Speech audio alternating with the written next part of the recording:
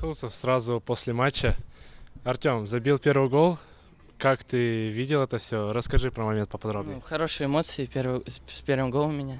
Подстроился под Солопа со своего фанга и ударил просто в дальний угол.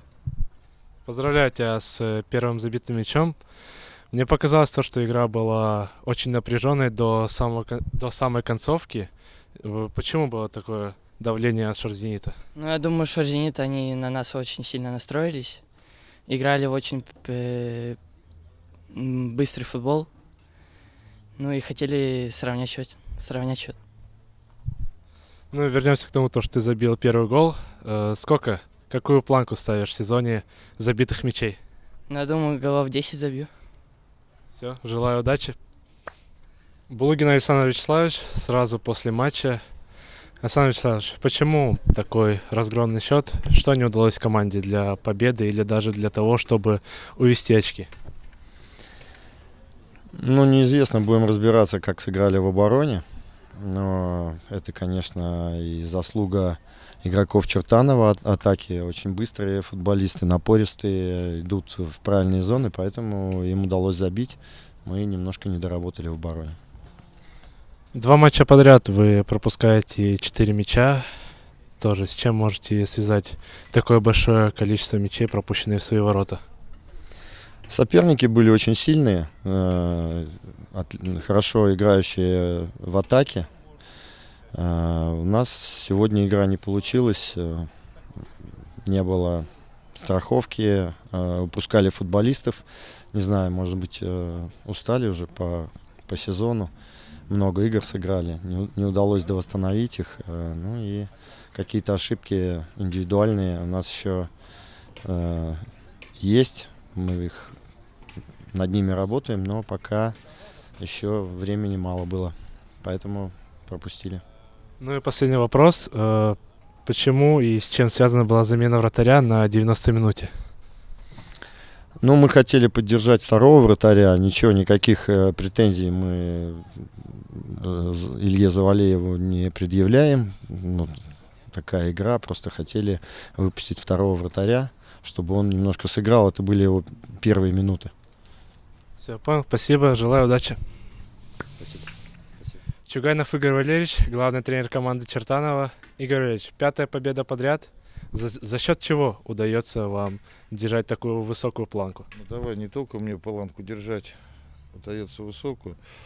Прежде всего команда, ну я считаю, после первого неудачного тура она как бы набрала ход. Да, были тяжелые игры. И сегодняшняя игра, в принципе, несмотря на счет, она тоже была непростой. И «Зенит» оказывал достойное сопротивление, имел один голевой момент тоже в первом тайме очень такой неприятный у наших ворот.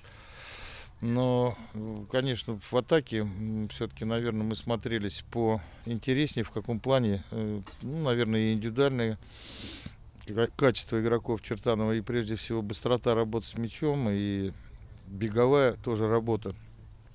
Она все-таки позволяла нашей команде создавать э, моменты. Жалко, что не все забили, не все использовали, и поэтому при счете вроде повели 2-0, но тут же пропустили. И, наверное, это был такой отрезок матча, такой на самом, на самом деле такой напряженный самый. Но потом все-таки забили третий, четвертый мяч и все-таки довели игру до уверенной победы. Вот. Если еще причины раскрывать, может быть, нет одного форварда, э, который все лечится, и в команду раскрылись другие игроки, поэтому все-таки надеемся, что с его выходом э, еще сильнее станем. Ну, я тоже на это надеюсь, то, что форвард вас не подведет. Ну и последний вопрос. Э, Сегодня, я думаю, замены сыграли. Два высших на поле игрока Петр Щербатов и Дмитрий Лапшин. Один отдал голевую, другой забил. Довольны заменами?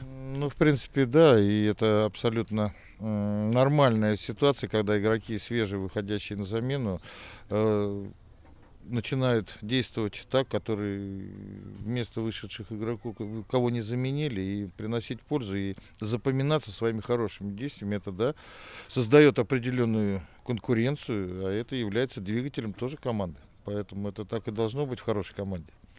Все правильно. Желаю вам удачи в сезоне. И вам поздравления. Паршаков Артем сразу после встречи. Артем, ты вышел на замену.